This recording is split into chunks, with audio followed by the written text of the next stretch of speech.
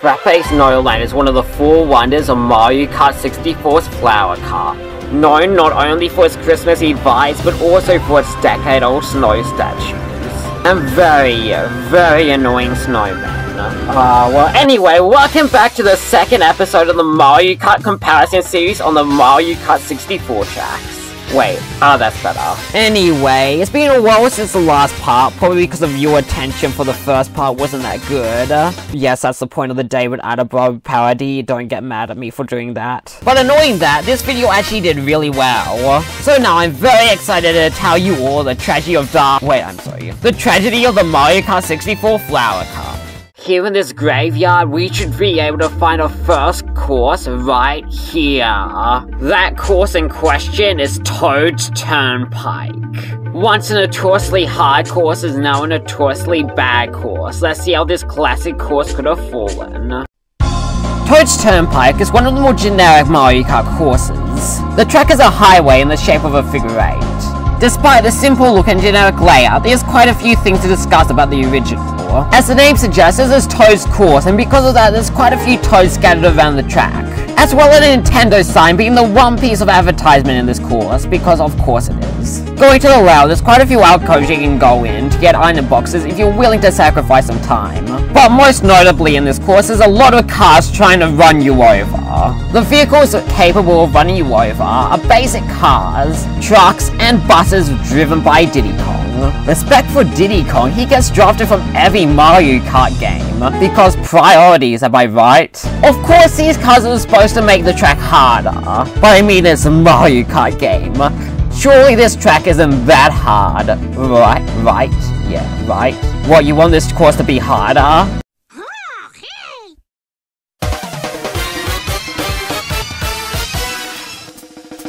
Say hello to Toad's Turnpike on Mirror Mode, arguably the hardest Mario Kart track ever. In this version of the course, all the traffic is coming towards you, which makes the vehicles almost impossible to avoid. I don't know if it's the hardest course, I've only played this track like two times on Mirror Mode, and I failed to win either of those races, so it might be. But this is really why Toad's Turnpike is notorious. And now before we move on to the remake of this track, I just want to point out one other thing. The starting line is actually on a different lane to the rest of the track, making this the only Mario Kart 64 track that you don't finish by going for the starting line. I'd imagine this would have been done to avoid you getting run over before the race starts, but it's still a cool perk this track has. So finally, let's move on to the remake. Toad's Turnpike reappears as the final track in Mario Kart 8 Shell Cup, and it's somewhat controversial. Anyway, let's start comparing these tracks by talking about the elephant in the room, the anti-gravity sections. The anti-gravity in this track allows you to drive on the walls. Doing this will shower you with coins and boost panels, as well as item boxes. This is where a lot of the hatred for this track comes from, as a lot of people think this is broken and makes the track way too easy. I can definitely see that. I feel like the only reason you shouldn't use the anti-gravity if you're trying to take advantage of the trucks and cars. Which you can actually do in this version, as it's actually two cars that you can use strategically. You will see cars with surfboards on them that allow you to do a trick if you manage to get onto them. But by far the coolest addition to this track is the truck that you can drive onto to go onto a glider. Going into a glider will allow you to land on other buses that have trick ramps on them. A lot of vehicles also have advertisements on them now, because Toad's a sellout now.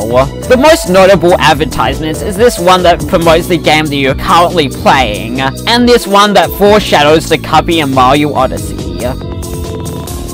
The alcoves on the road also return, but there's a lot less of them and they will give you coins instead of item boxes. There's also a lot of coins just following the other vehicles. By far the biggest change of this remake is the background.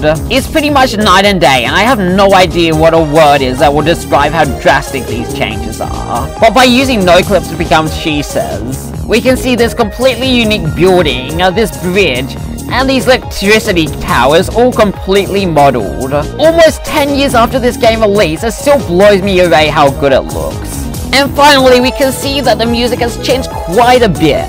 Take a listen.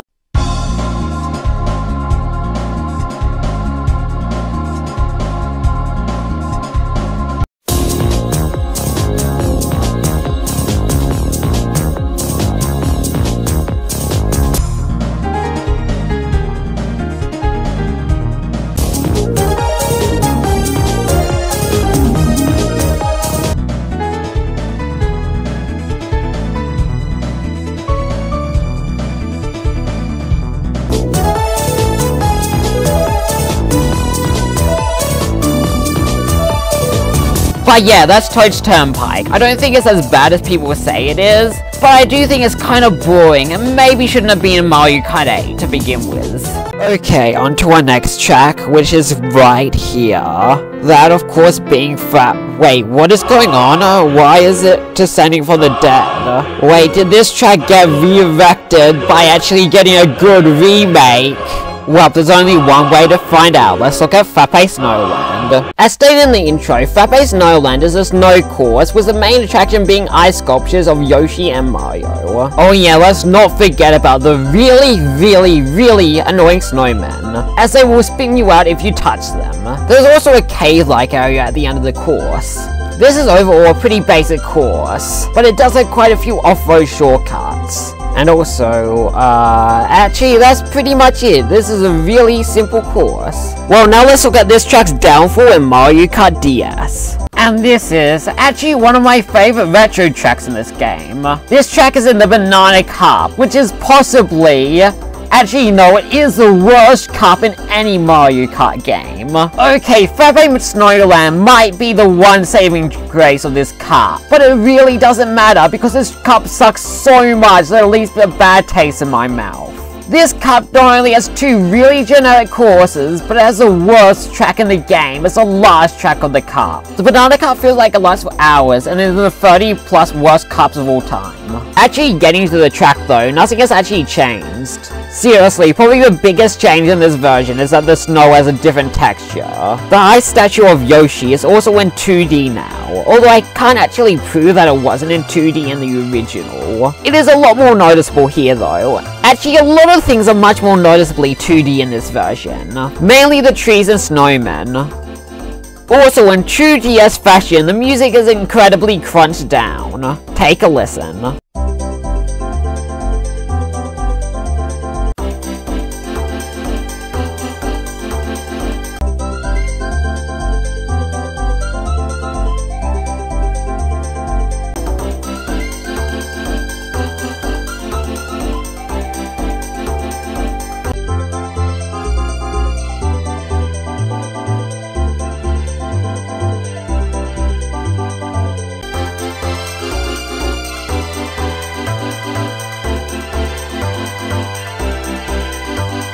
Frappe Snowland's most recent appearance is in Tour, and they've actually changed stuff this time. Like their starting line, which instead of using the basic Mario Kart 64 one is made of wood. With the addition of the trick system, ramps have been added to the off-road area so you can use the mushy to get to. One of them actually puts you into a glider. One of the most noticeable things about this remake is that everything is now in 3D, which visually improves this course a lot. Mountains have also been added to the background. There's also Christmas trees in this footage, but that's just part of Mario Kart Tour's Christmas tour, and I do that with every track around Christmas time. The final thing that the Mario Kart Tour version changes is this jump. In prior versions, you will jump over a stream of water and land on ice. Tour not only adds cracks to the ice that you're jumping off, but now you land on a wooden bridge.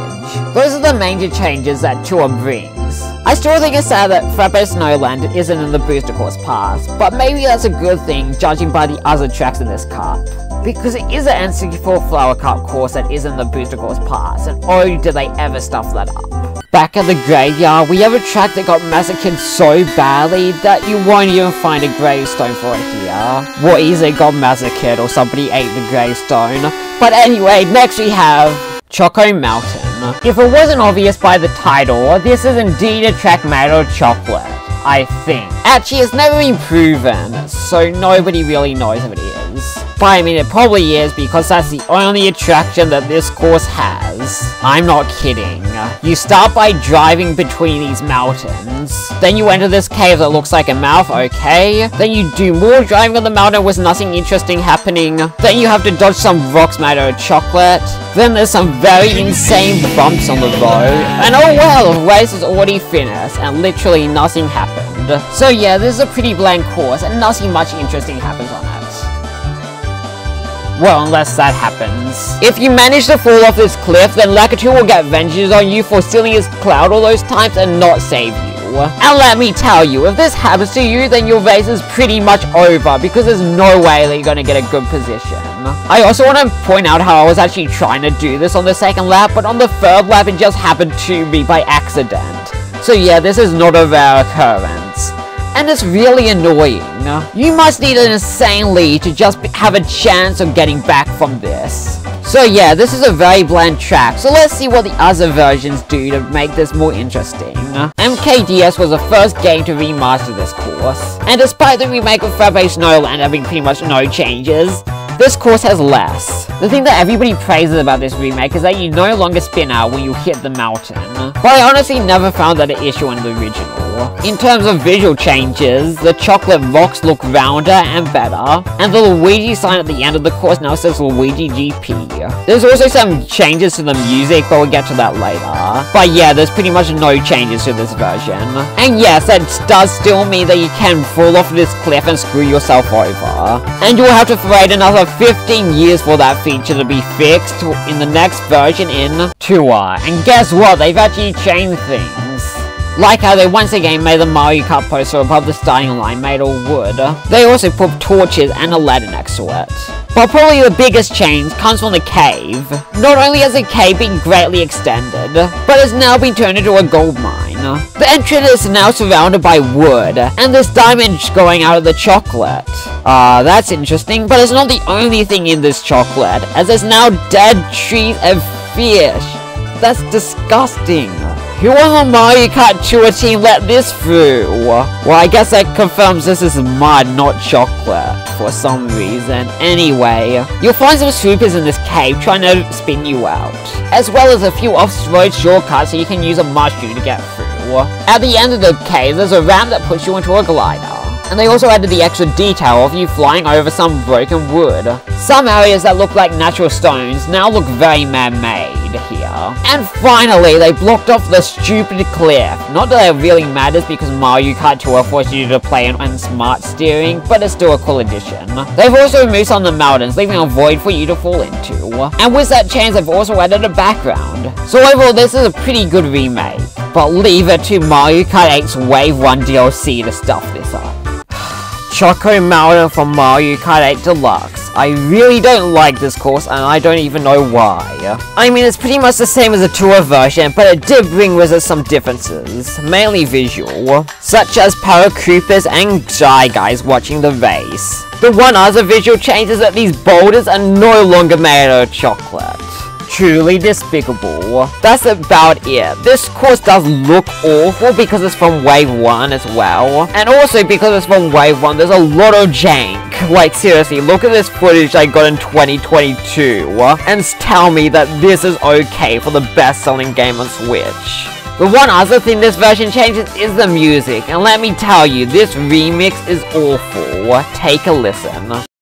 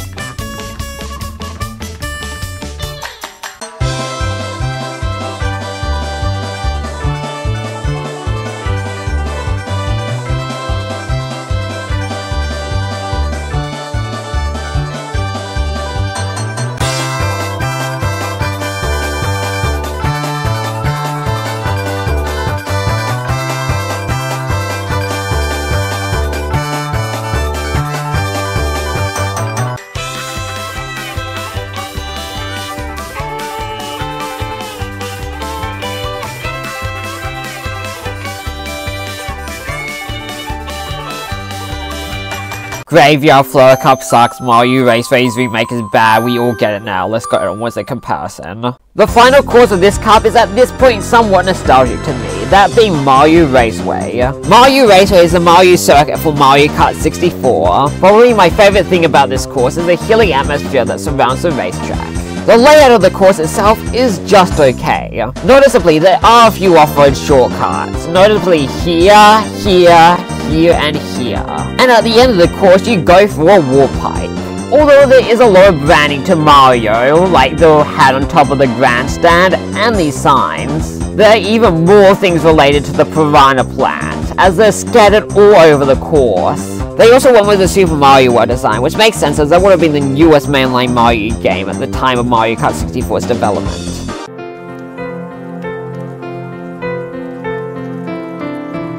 There's also a mushroom around this corner, and that's about it. So let's finally talk about Mario Kart Wii. Like most of the Mario Kart 64 remake tracks in this game, this track has been barely changed visually. Really the only visual change is that there's now new advertisements and are actually people in the stands opposed to just colored dots. Oh and yeah, the Piranha plants have got an updated design. Possibly my favourite change in this version is that the Mario Star sign now says Mario Racing. And with that change, they put a Shine Sprite on the poster. Of course I love this change because Mario Kart 64 released before Mario Sunshine, so it's a cool way to keep this track somewhat relevant. Functionally, this track has been changed quite a bit, as they've actually altered most of the shortcuts. Like moving this mushroom a bit so you can cut through with a mushroom. This pretty lame cut in the original has been made significantly better with the addition of a ramp that you can trick off. And talking about tricks, you can now trick off the walls of the pipe. Oh, and yeah, the pipe actually looks like a pipe this time around. And that's pretty much it. They did change the music a bit, but I've already done a comparison of the Raceway theme in my last video, and the music here is pretty much the same as the Mario Kart 7 version. So with that said, I guess that's it for the video. Wait, this track got remade in Mario Kart Tour? How did I not know that? I don't even think I played this version. Well, that might be an issue, but let's talk about it anyway. So, this track has quite an overwhelming amount of changes, but I think I found them all. The first change we see as we enter the course is that this brick wall not only looks different, but now has advertisements on it. And oh yeah, I just noticed that the wall in Mario Kart Wii has a slightly different color than the one in Mario Kart 64, if you care about that stuff. Because honestly, that fact is as interesting as the fact that the Mario Kart Tour version changed the Mario Kart Go pole. And along with that change, they moved the sign to be inbound instead of behind the wall. And oh yeah, make sure not to forget to mention the fact that there's more trees at the start. A bit further on, you will notice that this mountain has been cut off. In its place is transparent rules that we saw in Tour's version of Luigi's Raceway. Also here, we'll see the first two of many sirens scattered around this course. Then you will notice that this giant advertisement has been split into three small advertisements. This part of the track is no longer a hill but instead a slant. They've also added arrows here, and a rock near this shortcut. This turn has also been made more dramatic as it's now on a slant and has advertisements around it. Following that the wall here has now been cut off and replaced by a rock. In this pipe section, there is now light and these stripes. They've also removed this Nintendo ad and replaced it with two small ads. And then we go to this grandstand which has quite a few changes. Like the removal of these flags, and they're bringing back the Mario Racing sign. Seriously?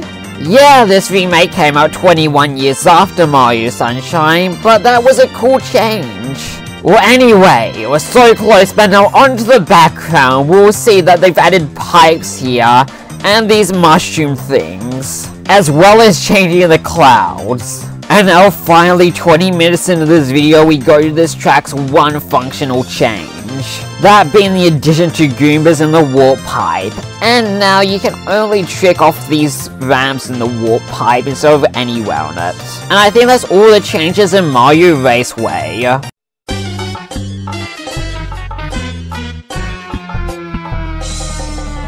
Hey, thank you for watching till the end of this video. So you might have noticed my lack of uploads, and that is because I have not the motivation nor time to do it at the moment. Oh, and plus, the last video I uploaded, which I was making at the same time as this video, was one of the hardest videos I've ever edited. So if you made it this far in this video, I'm gonna beg you to please go and watch some of the weirdest NES ROM hacks, because that video was a nightmare to work on. But if you've already watched that video or just don't want to, well then don't worry, I will definitely be making some more videos in the future, and I actually know what my next two videos will be. The next video I'm gonna make, that is probably gonna be uploaded in like a month, knowing me, is going to be a let's play on one of the hardest sets of Mario levels ever. Yeah, you probably know what I'm talking about. And then after that, I'm going to be making two top 5s, which are going to be combined into one huge top 10 that I've actually been wanting to make since 2022 and this video is going to be huge, and I really hope it does well. And also, please go and watch the first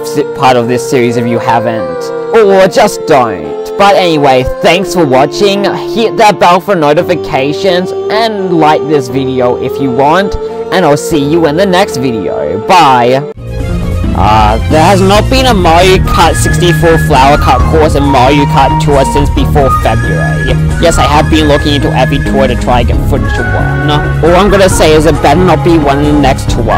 Also, Mario Kart 8 is 10 years old now. Yes, you really are that old.